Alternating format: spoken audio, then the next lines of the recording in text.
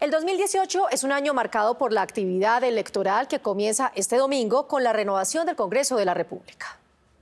Después de la firma de los acuerdos de paz, el Congreso va a tener una variación en la cantidad, tanto en Senado como en Cámara. El Senado hoy día son 100 senadores, más dos senadores indígenas por circunscripción especial.